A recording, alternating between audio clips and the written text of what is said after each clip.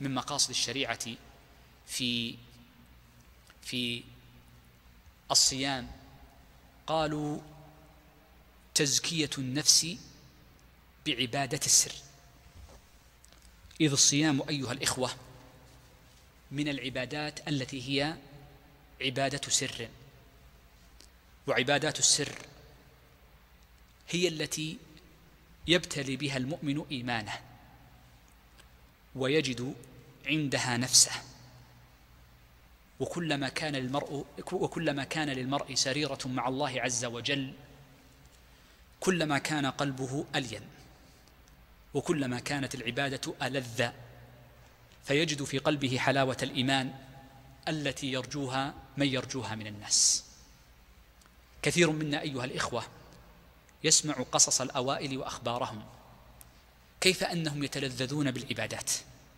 فترى أحدهم كعبد الله بن الزبير رضي الله عنه يصلي فيصف قدميه لله عز وجل فيأتي الزنبور فيلدغه مرات فلا يحس بلدغه.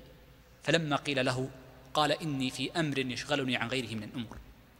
وآخر من الصحابة يكون قائما في صلاته يقرأ فإذا بسهم غرب يصيبه فلا يلتفت من صلاته لولا ما وصاه النبي صلى الله عليه وسلم من أن يحرس الناس وينتبه إليهم وإلا لما ترك صلاته من شدة أنسه بربه ولذته بهذه الطاعة.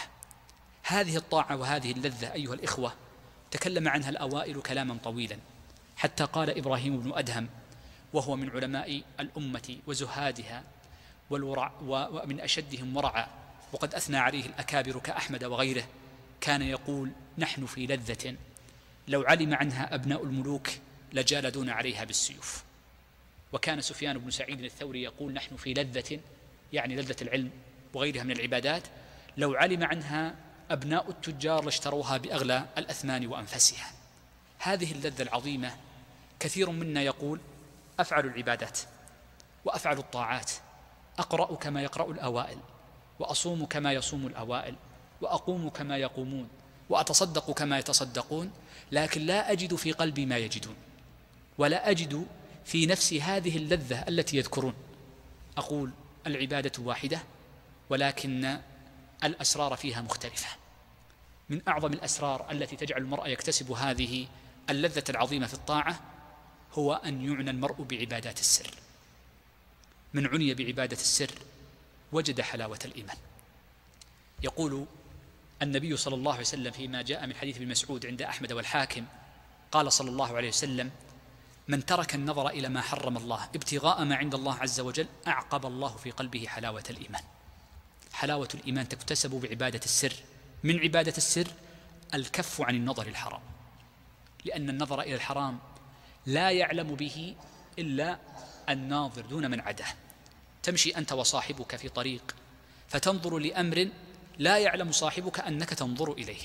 لذا كان النظر سببا موجبا وسببا من أسباب اكتساب لذة العبادة. وهذا معنى الآية ذكرناها قبل قليل في قول الله عز وجل يعلم خائنة الأعين وما تخفي الصدور وكلاهما من السر. من أسباب عبادة من أنواع عبادة السر إخراج الزكاة. عند ابن ماجه أن النبي صلى الله عليه وسلم قال ثلاث من فعلهن وجد حلاوة الإيمان وذكر منها ولم يخرج المريضة ولا ذات الشرط. أدى زكاة ماله ولم يخرج المريضة ولا ذات الشرط. لأن الزكاة لا يعلم مقدارها ولا عددها ولا قيمة ما يقوم منها إلا صاحبها والله عز وجل قبله. فهي من عبادات السر من عبادات السر الصوم.